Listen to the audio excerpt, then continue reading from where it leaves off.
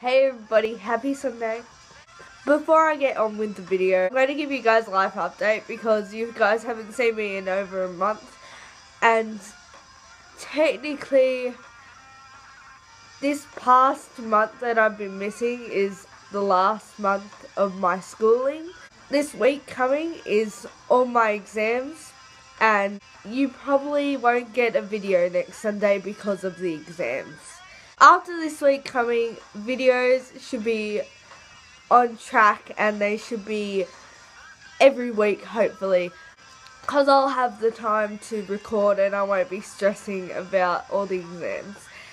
And I can't believe that I am finishing my TAFE course which I've which is technically my year 12. Once the TAFE course is done, so it will free up a whole lot of time, so I can make videos for you guys and be a weekly uploader.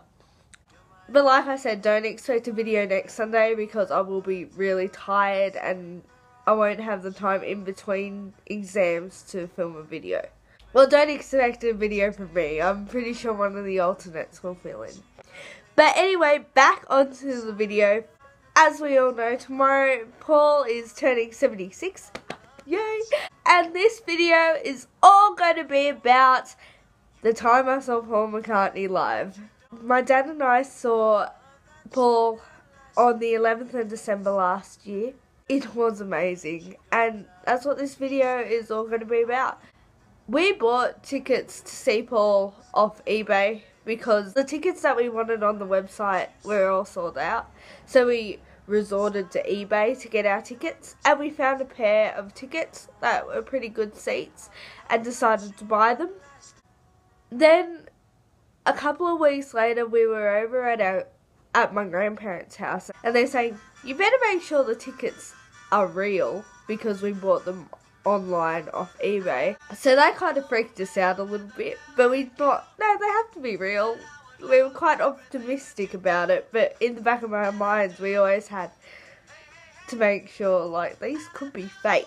And then on the day of the concert, Paul McCartney put up on his Twitter answer this question to win two tickets to see him in Sydney that night. And I entered it to just be precautious of the tickets and that they could be fake. So I entered. I remember the answer was the New World Tour. I think the question was somewhere along the lines of what was the last tour that Paul did in Australia or something like that. But um, I entered and that was about 9 o'clock in the morning. About two hours later, I got a direct message on Twitter from Paul saying, You have won two tickets to see Paul live in Sydney. I'll put the screenshot.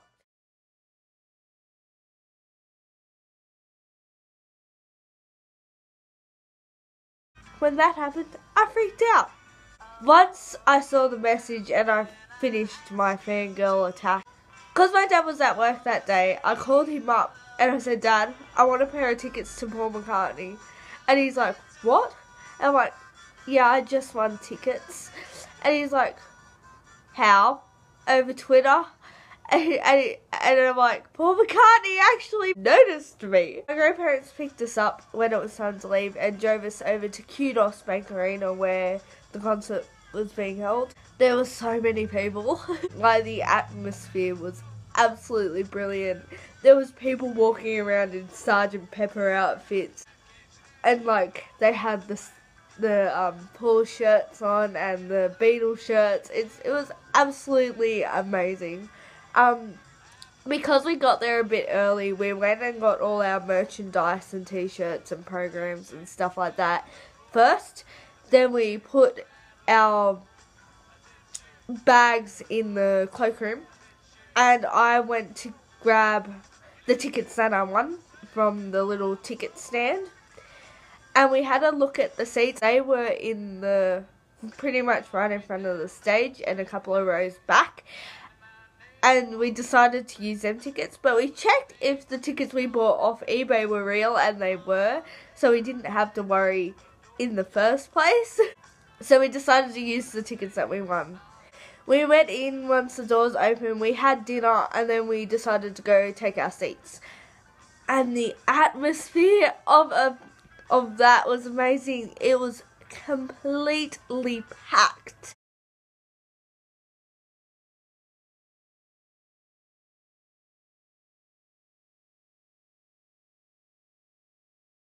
It was truly amazing how many people were there. and coming up was playing while everybody was kind of like talking and sitting.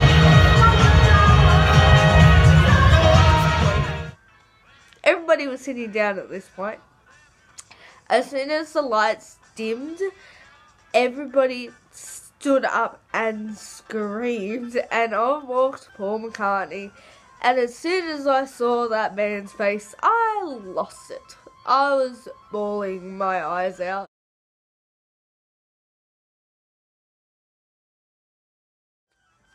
I had to literally give my phone to my dad so he could take photos through the first couple of songs because I was just crying and I was singing. I wasn't very loud, but I was silent crying, if that makes sense. It was just so exciting. Once I regained my strength to hold my phone and not cry as much, I I did film some of the songs. Before I put any of the songs up, I'm going to do a disclaimer. If you hear me singing, I'm sorry. I was si scream singing. I wasn't actually singing singing, so it sounds awful because we were all trying to just be as loud as we could. Another disclaimer on the filming, I wasn't actually looking at my phone while I was filming because I'm really short. I kind of had to be on my tippy toes and hold my phone above my head where I couldn't see it. So it's kind of just where it is is kind of where it is. But I think that kind of adds to the experience if someone else sees it. And I wasn't really watching through my phone either. I was watching Paul the whole time.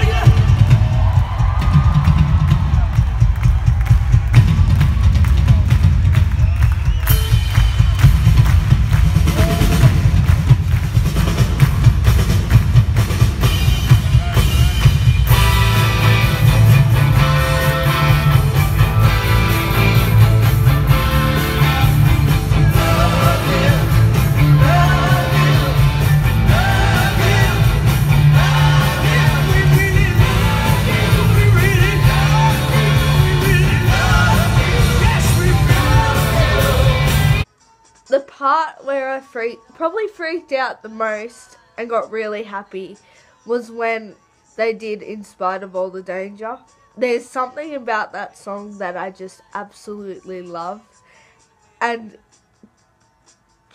when he got the audience to sing along, they'd show the audience on the screens behind them it was just it was amazing and we're trying to spot each other out and in one of the videos you can hear my go dad go hey did you see us? And i'm like what?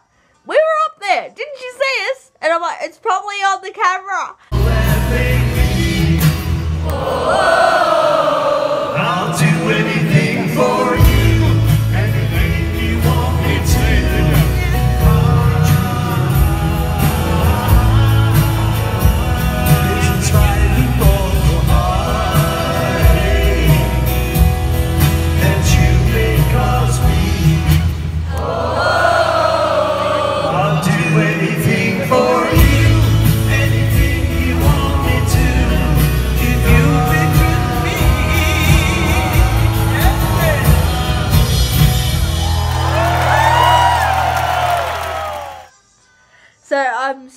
to figure out where me and Dad kind of pop up on the screen in two. One in In Spite of All the Danger and the other in Hey Jude.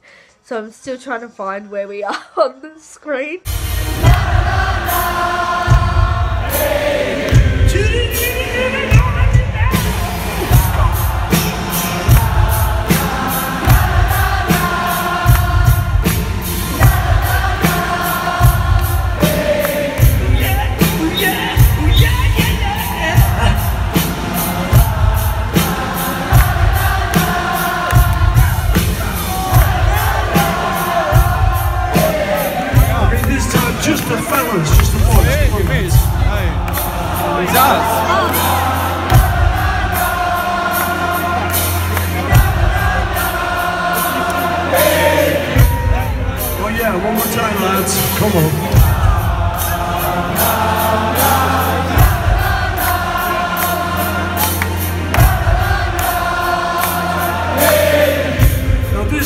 just the ladies. Come on, on.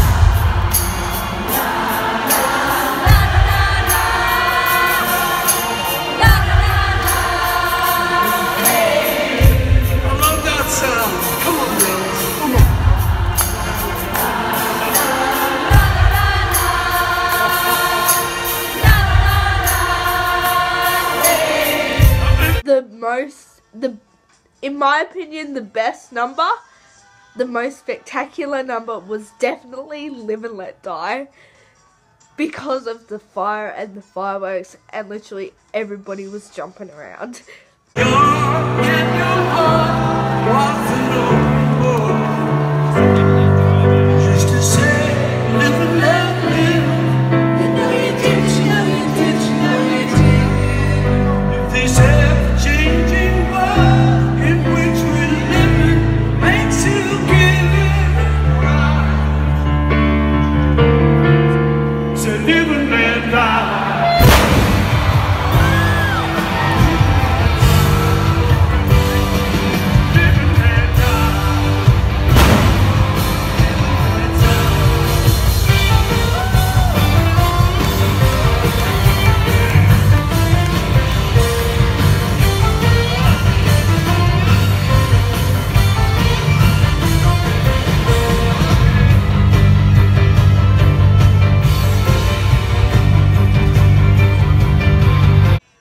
thing the concert went for nearly four hours and i did not see him have a drink of water.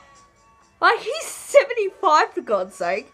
How the hell did he go four hours without having a drink? I don't get how paul went nearly four hours without having a drink through that concert. It amazes me. He performed. Maybe i'm amazed in honor of linda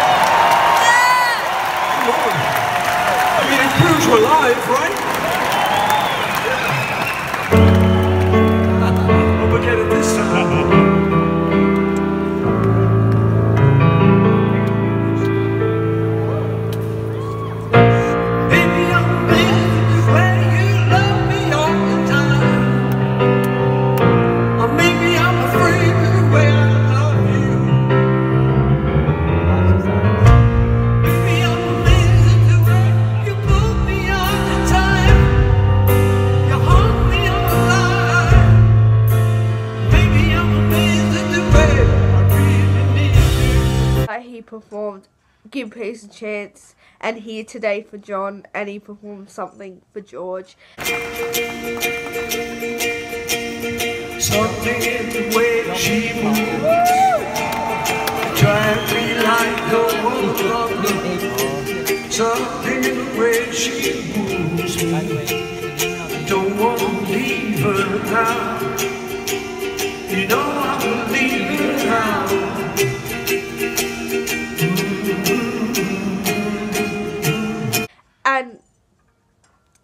What was absolutely magical about them four songs was the crowd was singing along, but it was kind of solemn. It was very respectful, and I looked over at Dad during um something, and we both kind of shivered. I swear, George, John, and Linda were there that night. In some weird sense, you could feel there was something else apart from the crowd there. And it wasn't strong, but especially during them four songs, you could feel like there was them there. I remember the vast different of age groups in that audience that night was so funny.